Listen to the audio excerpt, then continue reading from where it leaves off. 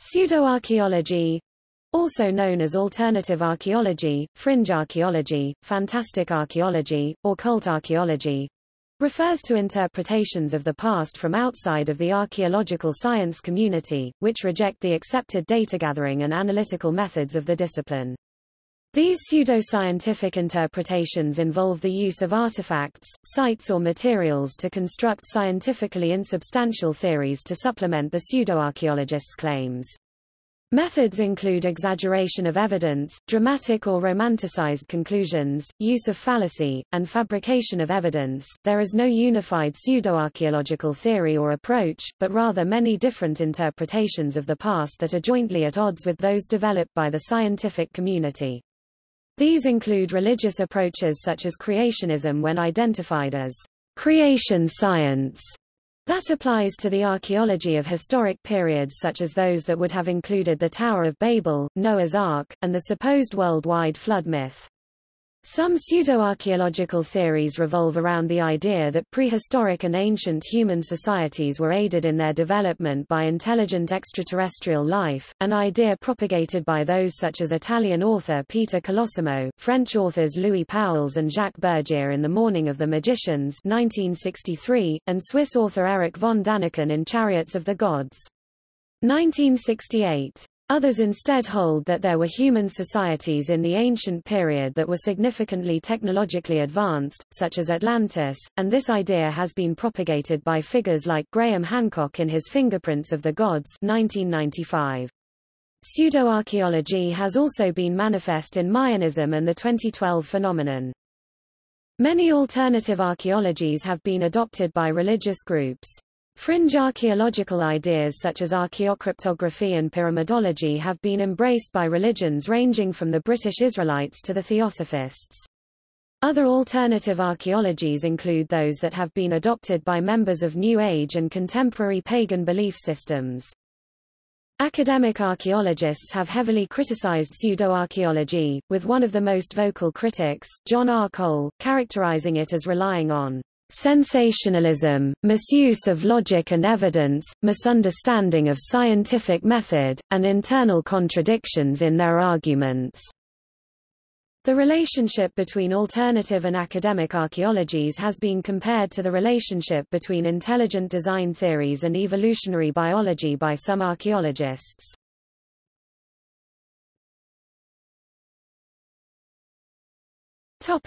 Etymology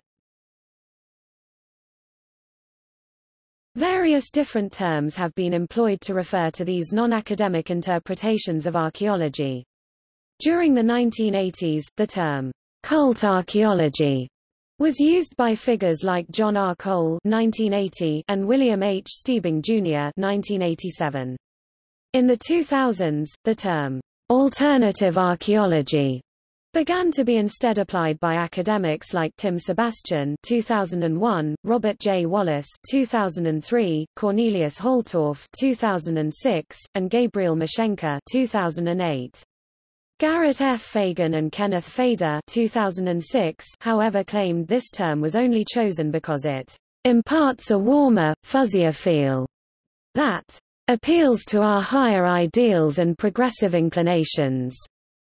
They argued that the term pseudoarchaeology was far more appropriate, a term also used by other prominent academic and professional archaeologists such as Colin Renfrew 2006. Other academic archaeologists have chosen to use other terms to refer to these interpretations.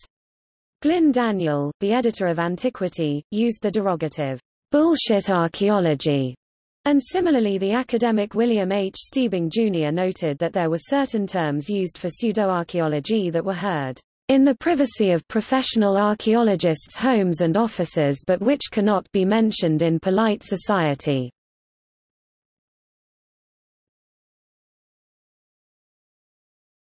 Topic: Characteristics William H. Stiebing Jr. argued that despite their many differences, there were a set of core characteristics that almost all pseudoarchaeological interpretations shared. He believed that because of this, pseudoarchaeology could be categorized as a single phenomenon. He went on to identify three core commonalities of pseudo-archaeological theories, the unscientific nature of its method and evidence, its history of providing simple, compact answers to complex, difficult issues, and its tendency to present itself as being persecuted by the archaeological establishment, accompanied by an ambivalent attitude towards the scientific ethos of the Enlightenment. This idea that there are core characteristics of pseudo-archaeologies is shared by other academics.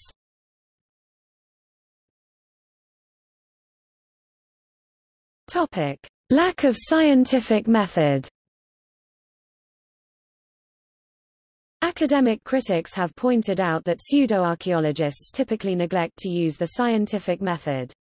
Instead of testing the evidence to see what hypotheses it fits, pseudo-archaeologists press gang the archaeological data to fit a favored conclusion that is often arrived at through hunches, intuition, or religious or nationalist dogma.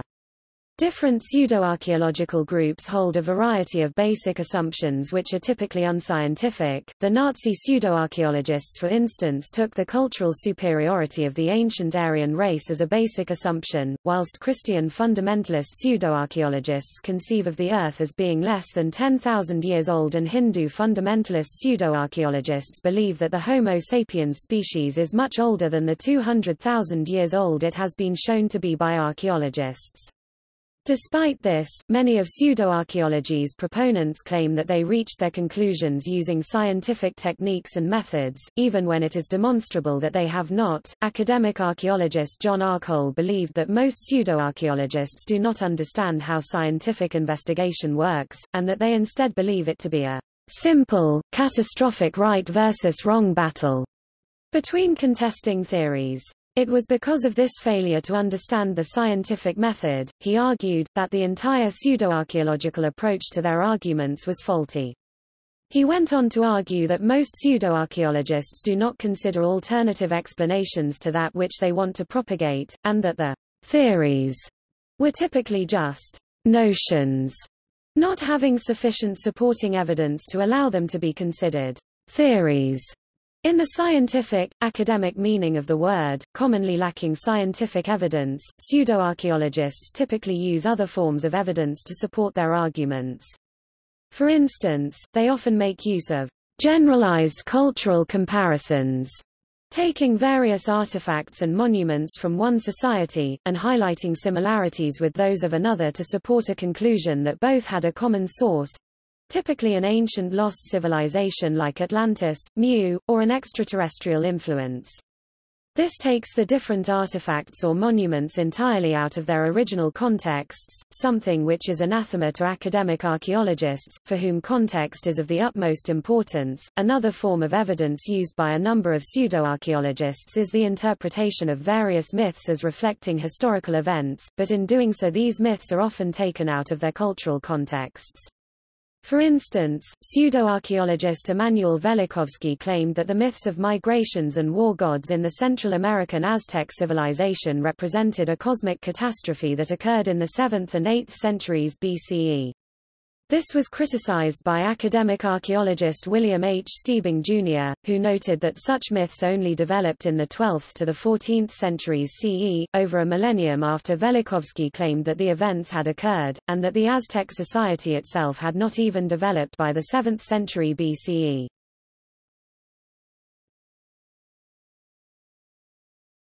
Topic. Opposition to the archaeological establishment Pseudo-archaeologists typically present themselves as being underdogs facing the much larger archaeological establishment.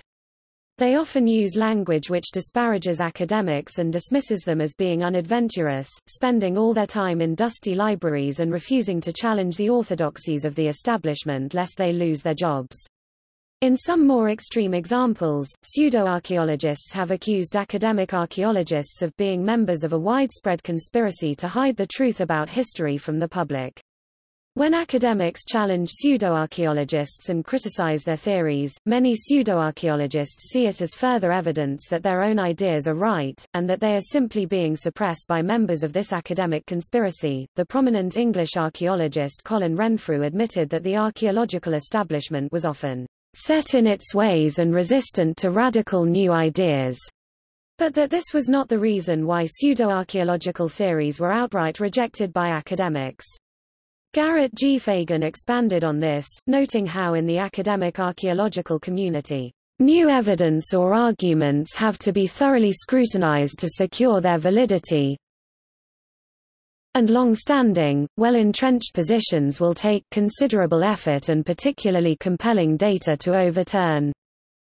Fagan noted that pseudoarchaeological theories simply do not have sufficient evidence to back them up and allow them to be accepted by professional archaeologists. Conversely, many pseudoarchaeologists, whilst criticizing the academic archaeological establishment, also attempt to get support from people with academic credentials and affiliations. At times, they quote historical, and in most cases dead academics to back up their arguments. For instance prominent pseudoarchaeologist Graham Hancock, in his seminal Fingerprints of the Gods 1995, repeatedly notes that the eminent physicist Albert Einstein once commented positively on the pole shift hypothesis, a theory that has been abandoned by the academic community but which Hancock supports. As Fagan noted however, the fact that Einstein was a physicist and not a geologist is not even mentioned by Hancock, nor is the fact that the understanding of plate tectonics which came to disprove Earth crustal displacement only came to light following Einstein's death.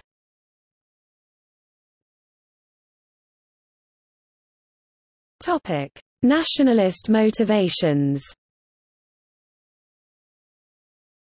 Pseudoarchaeology can be motivated by nationalism cf. Nazi archaeology, using cultural superiority of the ancient Aryan race as a basic assumption to establish the Germanic people as the descendants of the original Aryan master race or a desire to prove a particular religious cf. intelligent design, pseudo-historical, political, or anthropological theory.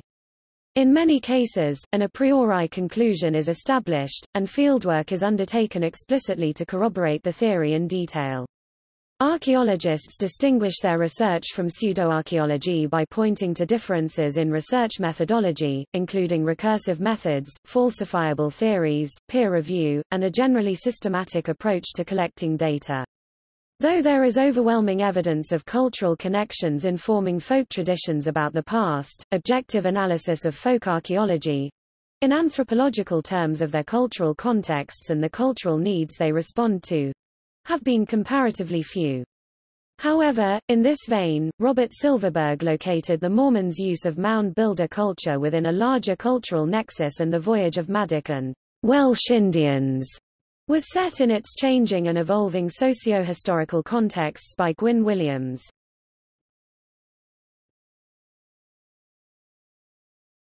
Topic: Religious motivations. Religiously motivated pseudo-archaeological theories include the young earth theory of some Judeo-Christian fundamentalists. They argue that the Earth is 4,000 to 10,000 years old, with figures varying, depending on the source. Some Hindu pseudo-archaeologists believe that the Homo sapiens species is much older than the 200,000 years it is generally believed to have existed. Archaeologist John R. Cole refers to such beliefs as cult archaeology and believes them to be pseudo-archaeological. He went on to say that this pseudo-archaeology had many of the attributes, causes, and effects of religion. A more specific example of religious pseudoarchaeology is the claim of Ron Wyatt to have discovered Noah's Ark, the graves of Noah and his wife, the location of Sodom and Gomorrah, the Tower of Babel, and numerous other important sites. However, he has not presented evidence sufficient to impress Bible scholars, scientists, and historians. Answers in Genesis propagates many pseudoscientific notions as part of its creationist ministry.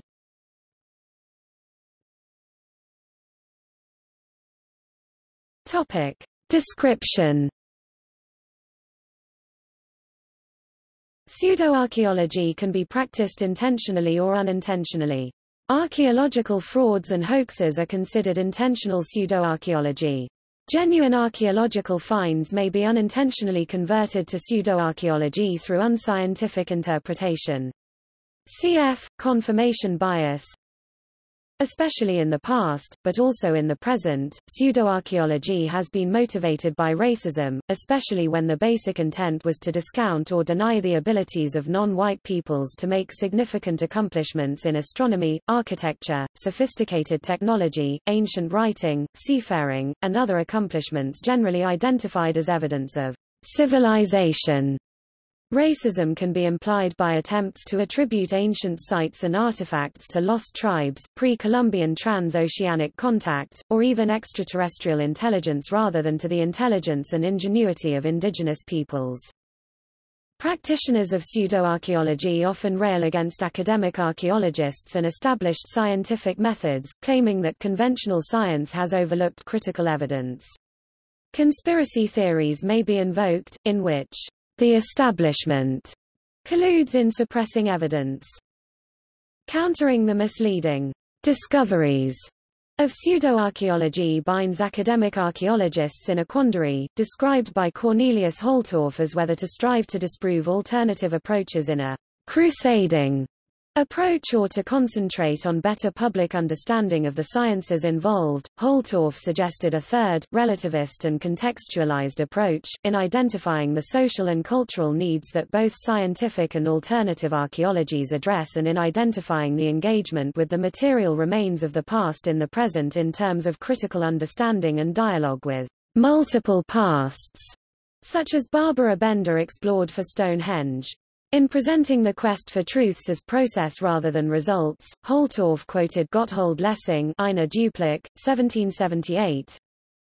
If God were to hold in his right hand all the truth and in his left the unique ever-active spur for truth, although with the corollary to err forever, asking me to choose, I would humbly take his left and say, Father, give, for the pure truth is for you alone. Archaeological readings of the landscape enrich the experience of inhabiting or visiting a place. Holtorf asserted, those readings may well be based on science but even non-scientific research contributes to enriching our landscapes. The question for opponents of folk archaeology is whether such enrichment is delusional. Participatory, public, or community Archaeology offers guided engagement.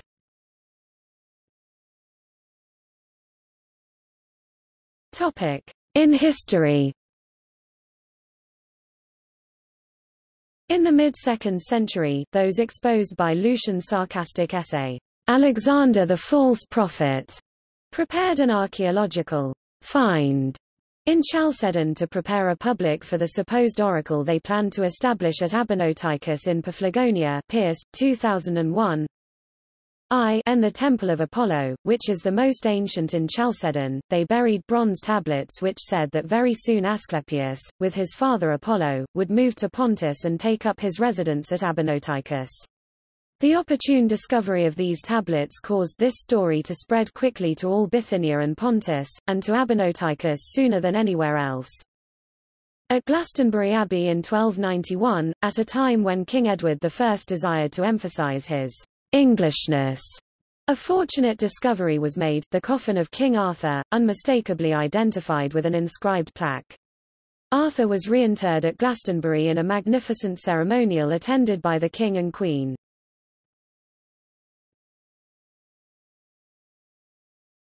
Topic: Examples.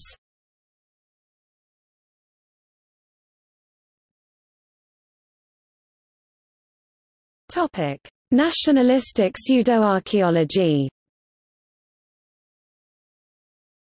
The assertion that the mound builders were a long-vanished non-Native American people thought to have come from Europe, the Middle East, or Africa. The Kensington runestone of Minnesota held to prove Nordic Viking primacy in discovery of the Americas. Nazi archaeology, the Thule Society, and expeditions sent by the Ahnenerbe to research the existence of a mythical Aryan race.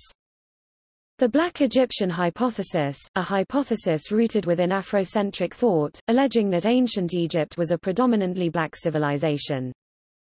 The Bosnian Pyramids Project, which has projected that several hills in Visoko, Bosnia are ancient pyramids. The theory by British Israelists that the Hill of Tara in Ireland contained the Ark of the Covenant. They excavated the hill in an attempt to prove the Irish were part of the lost tribes of Israel.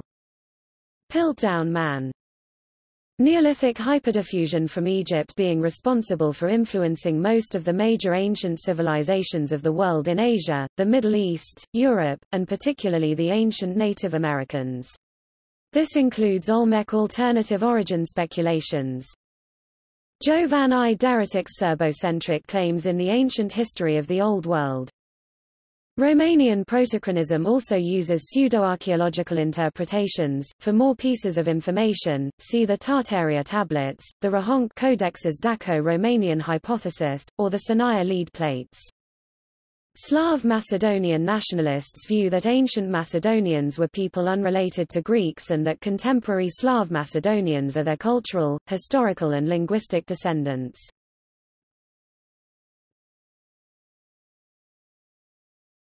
Topic: Religiously motivated pseudo-archaeology.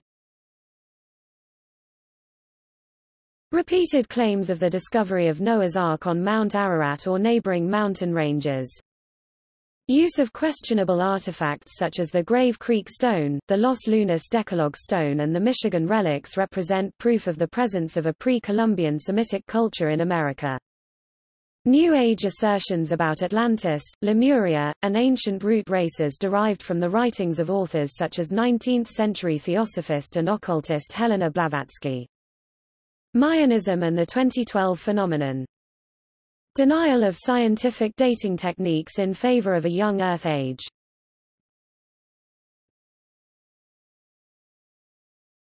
Topic: General pseudoarchaeology. Archaeological interest of Pedro da Gourvia The work of 19th and early 20th century authors such as Ignatius Donnelly, Augustus Le Plongeon, James Churchward, and Arthur Posnansky. The work of contemporary authors such as Eric von Daniken, Barry Fell, Zecharia Sitchin, Robert Bauval, Frank Joseph, Graham Hancock, Colin Wilson, Michael Cremo, Immanuel Velikovsky, and David Hatcher Childress. Lost continents such as Atlantis, Mu, Kumari Kandam, or Lemuria, which are all contested by mainstream archaeologists and historians as lacking critical physical evidence and general historical credibility. The ancient astronaut theory regarding Mayan ruler Pakal II Speculation regarding pre-Columbian contact between Egypt and the Maya Speculation by paranormal researchers that an abnormal human skull promoted as the Starchild skull was the product of extraterrestrial human breeding or extraterrestrial genetic engineering, despite DNA evidence proving that the skull was that of an anatomically modern human infant, most likely suffering from hydrocephalus.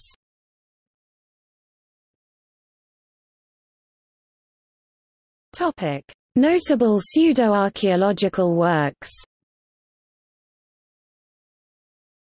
Chariots of the Gods Fingerprints of the Gods From Atlantis to the Sphinx. Topic. Legitimate archaeological sites often subject to pseudo-archaeological speculation. Puma Punku Stonehenge The Great Pyramid of Giza The Sphinx Etruscan inscriptions Easter Island. Teotihuacan. Palenque. Chichen Itza Göbekli Tepe Zorats Karer aka Armenian Stonehenge. The Nazca Lines. The Stone Spheres of Costa Rica. The Chinese Pyramids. The megalithic temples of Malta. Nan Madol The Yonaguni Monument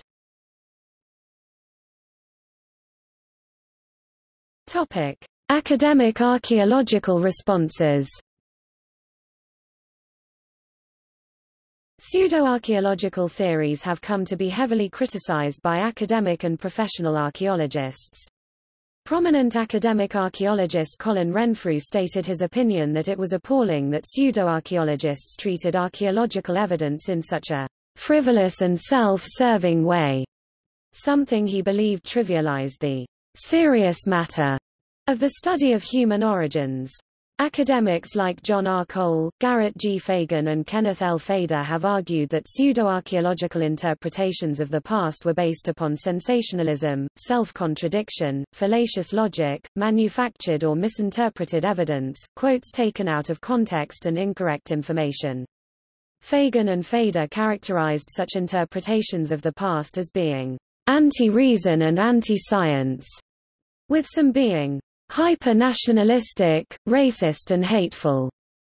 In turn, many pseudo-archaeologists have dismissed academics as being close-minded and not willing to consider theories other than their own. Many academic archaeologists have argued that the spread of alternative archaeological theories is a threat to the general public's understanding of the past. Fagan was particularly scathing of television shows that presented pseudo-archaeological theories to the general public, believing that they did so because of the difficulties in making academic archaeological ideas comprehensible and interesting to the average viewer. Renfrew however believed that those television executives commissioning these documentaries knew that they were erroneous, and that they had allowed them to be made and broadcast simply in the hope of short-term financial gain. Fagan and Feder believed that it was not possible for academic archaeologists to successfully engage with pseudo-archaeologists, remarking that, "...you cannot reason with unreason." Speaking from their own experiences, they thought that attempted dialogues just became slanging matches in which the expertise and motives of the critic become the main focus of attention. Fagan has maintained this idea elsewhere, remarking that arguing with supporters of pseudo-archaeological theories was pointless because they denied logic. He noted that they included those who openly admitted to not having read a word written by a trained Egyptologist, but who at the same time were pronouncing how academic Egyptology was all wrong, even sinister. Topic conferences and anthologies At the 1986 meeting of the Society for American Archaeology, its organizers, Kenneth Feder, Luann Hudson and Francis Harrold decided to hold a symposium to examine pseudo-archaeological beliefs from a variety of academic standpoints, including archaeology, physical anthropology, sociology, history and psychology. From this symposium, an anthology was produced, entitled Cult Archaeology and Creationism, Understanding Pseudo-Archaeological Beliefs About the Past 1987. At the 2002 annual meeting of the Archaeological Institute of America, a workshop was held on the topic of pseudo-archaeology. It subsequently led to the publication of an academic anthology, Archaeological Fantasies, How Pseudo-Archaeology Misinterprets the Past and Misleads the Public 2006, which was edited by Garrett G. Fagan. On 23 and 24 April 2009, the American Schools of Oriental Research and the Duke University Center for Jewish Studies, along with the Duke Department of Religion, the Duke Graduate Program in Religion, the Trinity College of Arts and Sciences Committee on Faculty Faculty Research, and the John Hope Franklin Humanities Institute, sponsored a conference entitled Archaeology, Politics, and the Media, which addressed the abuse of archaeology in the Holy Land for political, religious, and ideological purposes. Emphasis was placed on the media's reporting of sensational and politically motivated archaeological claims and the Academy's responsibility in responding to it.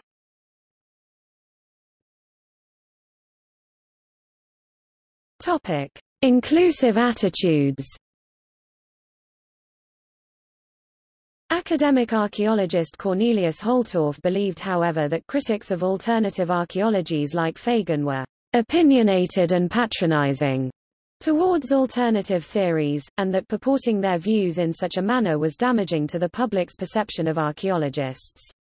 Holtorf highlighted that there were similarities between academic and alternative archaeological interpretations, with the former taking some influence from the latter. As evidence, he highlighted archaeoastronomy, which was once seen as a core component of fringe archaeological interpretations before being adopted by mainstream academics. He also noted that certain archaeological scholars, like William Stukeley (1687–1765), Margaret Murray (1863–1963), and Maria Gimbutas (1921–1994), were seen as significant figures to both academic and alternative archaeologists. He came to the conclusion that a constructive dialogue should be opened up between academic and alternative archaeologists. Fagan and Feder have responded to Holtorf's views in detail, asserting that such a dialogue is no more possible than is one between evolutionary biologists and creationists or between astronomers and astrologers. One approach is scientific, the other is anti-scientific. In the early 1980s, Kenneth Feder conducted a survey of his archaeology students. On the 50-question survey, 10 questions had to do with archaeology and or pseudoscience. Some of the claims were more rational, the world is 5 billion years old, and human beings came about through evolution. However, questions also included issues such as, King Tut's tomb actually killed people upon discovery, and there is solid evidence for the existence of Atlantis. As it turned out, some of the students Feder was teaching put some stake in the pseudoscience claims. 12% actually believed people on Howard Carter's expedition were killed by an ancient Egyptian curse. See also